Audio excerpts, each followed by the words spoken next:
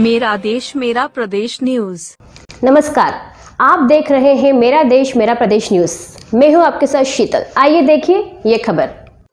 बदनावर में होने वाले उपचुनाव में चुनावी माहौल को देखते हुए दोनों ही दलों ने मोर्चा संभाल लिया है।